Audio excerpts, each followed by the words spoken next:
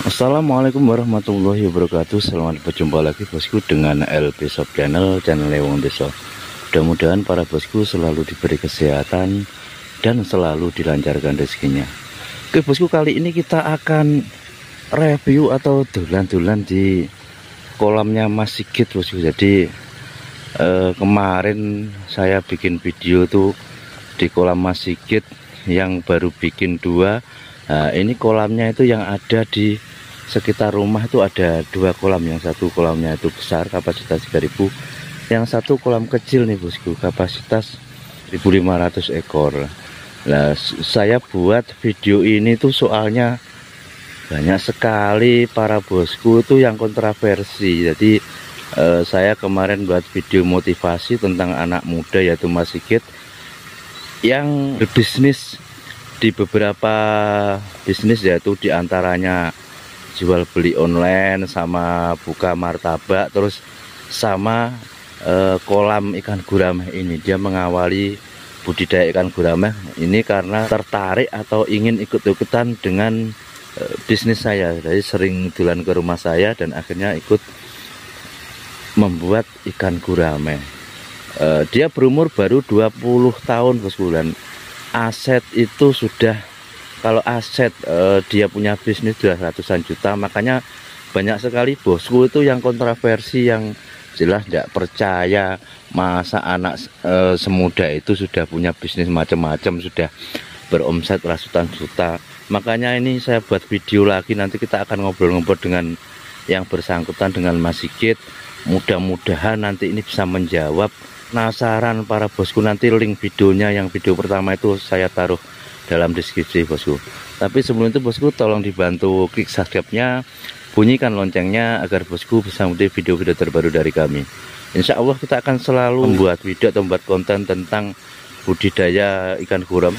Eh, bagi yang sudah subscribe saya ucapkan banyak terima kasih. Matur suwun. Nah ini kolam mas sedikit yang kemarin saya buat konten bosku. Ada dua kolam ini kalau dari rumahnya itu ada sekitar 500 meteran bos. Di jauh dari rumahnya. Ini juga lahan itu punya orang tua tapi nyewo kan yang tanya itu masalah tempatnya itu nyewa apa punya sendiri. Yang jelas ini tanahnya itu miliknya orang tua tapi nyewo ya mas? Oh iya sewa ini. Nah ini. Dan ngomong dewe ini, ini tiap tahun pasti kasih uang. pasti kasih uang. Dia enek enek hitungnya gak syukur ngenggoni. Soalnya tunggali akeh berarti tunggali akeh bu ya saudara saudaranya, banyak. Saudaranya banyak. Jadi nanti Mana ya? biar tidak ada yang iri nah dulu saudaranya banyak. Kok lek mek ngenggoni tok kan dulure meri makanya hitung-hitungannya tetap nyewo bos di masalah lahan terjawab yang jelas bukan milik sendiri tapi milik orang tuanya orang tua. tapi nyewo ya mas ya nah.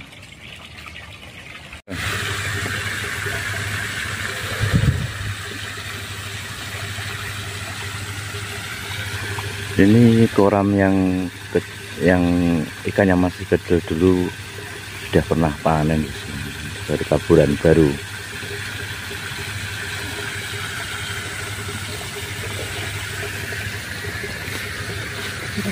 kalau ini yang mau panen. Ya mau panen. Yang kita taburan piro mas mas? 1500 yang ini. Nah, ini 1500 sudah habis berapa sak? Habis sekitaran 15 sak. Nah, sudah habis 15 sak. Berarti sekitar kemungkinan 10 sak lagi nih mau panen bosku.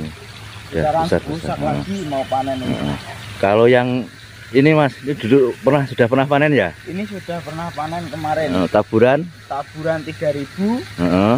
Ikan Terus. diangkat baru sekitaran 1700. Uh, jadi pas panen dilalah ngingu pertama itu harganya 41 bosku. Jadi taburan 3000 ternyata kepanen 1700 mungkin waktu kecilnya tuh kan pernah sakit. Tapi masih untung banyak jadi masih mendapatkan uang sekitar 35 up sekitar hampir 40-an kalau saya ingat pada waktu itu. uh, kalau yang ini mungkin ya bulan puasa mas ya? Ini nggak sampai bulan puasa udah mau panen ini, nah, ini sampai. sekitaran udah tiga on ini. Udah tiga onan. Paling 10 sakan lagi mau panen itu. sudah sudah habis. Sudah habis lima belasan ya? Lima belasan. Ini yang direview oleh Pak Asik yang nah, kemarin. Sudah yang pembuatan waktu, kolam uh, ini. pembuatan kolamnya itu saya review saya bikin tutorialnya bos ini nanti bisa dicek. Itu terus ini banyak teman-teman itu yang kontroversi mas. Ya, jadi gak percaya kemarin yang video pertama itu waktu bikin video di di dekat rumah saya itu kan ada dua kolam. Ini banyak yang tidak percaya. Masa eh, anak semuda itu sudah punya omset eh, banyak itu. Makanya ini saya saya review lagi ke rumah Mas Sigit. Eh, bisa sharing-sharing Mas? Eh, pada awal mulanya bisnis jadi awal mula ben, uh, awal mula saya uh, kerja ikut martabak. Uh, itu kelas 3 SMP uh, mau kelas 1 SMA ini Mas Sigit ini kebetulan ayahnya itu tidak ada dan tidak ada. Umur berapa mas waktu tinggal ayahnya? Sekitaran ya ditinggal sekitaran tiga eh tiga SMP tiga SMP jadi kelas tiga SMP uh, memang benar-benar berangkat itu dari modal sendiri ya. cara uang saking hati-hati ini uh, nyambut gawe sampai ngelumpuk. Terus gimana cerita mas? Mulai dari merintis martabak. Merintis itu saya ikut martabak mm -hmm. sekitaran tiga tahun. Uh -huh. langsung buka sendiri. Mm -hmm. nah itu terus diajak mas saya mm -hmm. itu jualan online bibit uh. terus habis itu pindah ke kolam ini. Uh, jadi sampai sekarang mata banyak masih mas ya? Mata banyak masih. Alamatnya mas alamatnya mungkin nanti ada yang jalan Doko Kediri. Uh, nama Nasem, nama anunya? Namanya Hollandia Hollandia nanti mungkin ada yang penasaran mosok masih kit duit. Bakulan martabak bisa langsung datang ke ke lokasi. Lokasi di mas Jalan Doko. Jalan Doko ke di sebelah pengadilan agama. Nah, nanti bisa dolan ke sana sambil beli-beli martabak itu memang eh, hasil jerih payahnya Mas Sigit itu. Kemudian terus di bidang online eh, mengembangkan lagi di bidang budidaya ikan gurame ini sama itu bos nanti saya tunjukkan eh, tanaman-tanaman. Jadi membuat stek tanaman apokat. apokat. Nah, tapi ini yang sementara ini dia fokus di budidaya ikan gurame makanya bikin sudah jadi empat kolam ya mas sekarang. Pertama awal bikin ini pertama, nah, pertama. ini. Terus setelah lima bulan uh. saya bikin ini. Uh. udah punya uang lagi bikin ini. Uh. baru panenan yang ini.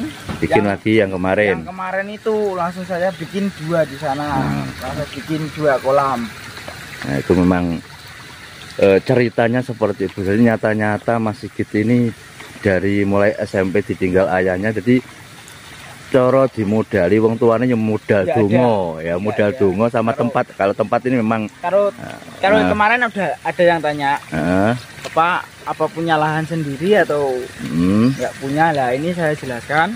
Uh, ini kalau masalah tanah ini uh, punya orang tua uh, masih punya orang tua tapi saya masih kasih lah hmm. kasih uang. Uh, caranya nyewo nyewo uh, ibaratnya pasti uh, jadi kalau masalah modal Mas Ikit memang berangkat dari sendiri, sendiri yang bapak ya wis enek cilik jadi adik berapa Mas? Dua. Nah, punya adik dua, dua kakak dua. satu. Kakak jadi satu. Eh, gampangannya ya nyambut gawe tenanan modalnya kayak kone wong tua ya modal dungo ya gitu loh. Makanya nanti kalau ada yang masih penasaran dengan Mas Sigit. Nomornya Mas nolak sampean kok iso? 085 085 850 850 579 579 044 044 ya bisa sharing-sharing nah, langsung. mungkin nanti, nanti ada anak muda. Kemarin ada yang review lah iso nomornya narasumbernya dicantumkan. Lah itu nanti bisa langsung sharing mau entah mau belajar di bidang bidang gurame atau di bisnis lainnya nanti. Yang jelas sementara ini dia fokus di bibit gurame sama apokat ya Mas. Delok apokat ya Mas. Nah, ini nanti saya tunjukkan bisnis-bisnisnya Mas Sigit Bosku.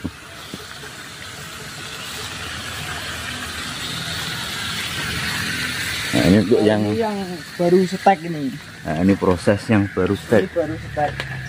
Nah, ini untuk uh, di, di dari dari biji itu di stek mau dijadikan besar-besar ya bos gula. Ini ini yang proses baru stek ini kalau yang udah jadi. Nah.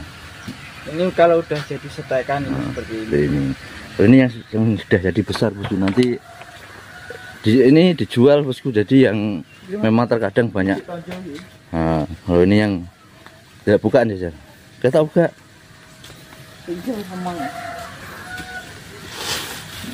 nah ini yang masih biji seperti ini bos terus kalau sudah panjang di stek seperti yang tadi yang di sana itu. Lah ini yang sudah jadi yang besar-besar seperti ini bos jadi berbagai macam jenis avokat itu ada di sini. Nah ini untuk pembesaran-pembesaran ada di sini. Ini yang masih kecil-kecil ini kita akan sambung ngobrol lagi dengan Mas Sigit bosku. Uh, Mas Sigit itu basicnya sekolah biar tamatan opo nah, tamatan apa mas? Tamatan SMA oh, SMA. tamatan itu SMA terus harap terus nih yang jelas juga di duit.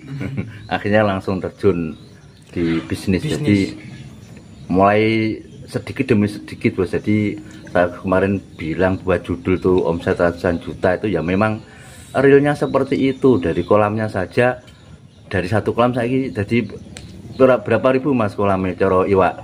Iwak semua sepuluh ribu. Nah sepuluh ribuan sepuluh ribu ikan itu modalnya sudah banyak bos. Mulai pakan kolam itu ya. Dari uh, ikannya ada sudah ratusan juta bos kalau teman-teman itu ya berangkatnya dari uh, satu kolam mas ya? Berangkatnya dari dari satu kolam. Uh, gak langsung geruduk semua itu berangkat sedikit demi sedikit lah e, mengembangkan bisnis. Makanya kemarin saya buat judul beromset ratusan juta ya memang bener. Dari kolmenya sudah segitu belum lagi yang dari tanaman-tanamannya tadi. E, makanya ini mudah-mudahan sharing ini bisa menjawab e, penasaran dari para bosku.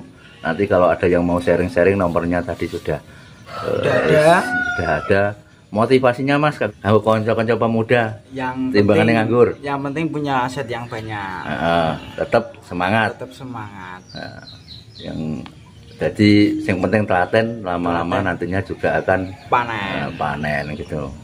Itu sementara ngobrol-ngobrolnya sharing-sharingnya dengan Mas Dikit uh, saya cukup isikan mudah-mudahan video ini nanti bisa menjawab rasa penasaran dari para bosku dan bisa menjadi uh, informasi juga inspirasi bagi para pemuda-pemuda lain yang mungkin uh, masih bingung bekerja nanti bisa sharing-sharing lah dengan Mas Sigit. Akhirnya saya akhiri tetap semangat. Uh, Assalamualaikum warahmatullahi wabarakatuh. Mantap.